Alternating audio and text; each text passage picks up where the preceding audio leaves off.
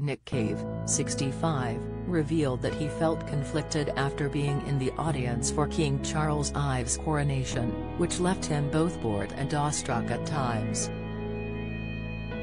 The Nick Cave and the Bad Seeds singer was among 14 Australians invited to the historic ceremony. He joined fellow Aussie stars, including the Last Leg host Adam Hills, 52, and Prime Minister Anthony Albanese, 60.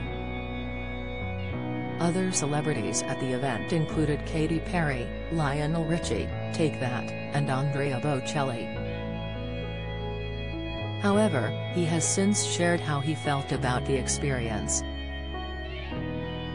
Holly and Phil's issues first sparked by special show request that left her livid speaking with journalist Krishnan Guru-Murthy, 53, on Channel 4 News Ways to Change the World, he said, I went along to the coronation entirely out of curiosity and found the whole thing to be acutely interesting, to say the least, I would say. Because I thought I would feel things when I went to the coronation, he admitted. He added, but I didn't know that I would feel them in such an extreme way and they were conflicted feelings, and sometimes I felt extremely bored, other times completely awestruck by the event, extremely moved by the music. Nick also revealed that he was kind of amused by George Friedrich Handel's Zadok the Priest anthem, which was played during the ceremony, and also felt angered by what was going on at the event. The singer also confirmed via his Red Hand Files newsletter that he was not a royalist or a monarchist. The self-published newsletter allows the musician to respond to questions from fans, in addition to his Instagram updates. However, he clarified that he couldn't refuse an invitation to what will more than likely be the most important historical event in the UK of our age. Speaking on his website, he added how emotional meeting the Queen had been for an aspirational Australians living in the UK event. It was a mostly awkward affair, but the Queen herself seemed almost extraterrestrial and was the most charismatic woman I have ever met.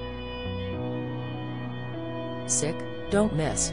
Heidi Klum suffers wardrobe malfunction as she ditches underwear in risky dress. Latest, Lorraine Kelly appears to respond to claim daytime TV is infested by savages. Reaction, late singer Tina Turner hailed local hero by her neighbors in Switzerland. Updates, the Victoria-born star revealed he was weeping when the coffin was lowered at her funeral.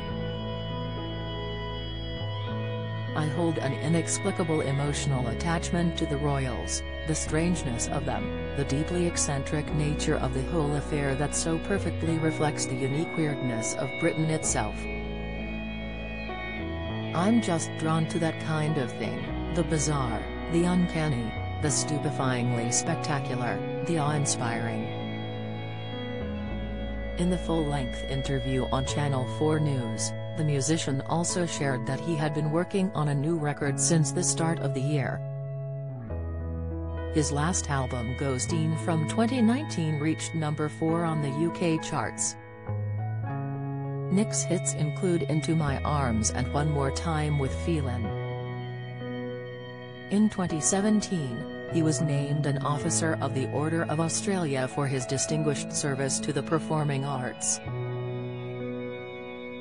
The award recognises Australian citizens and others for their outstanding achievements and services.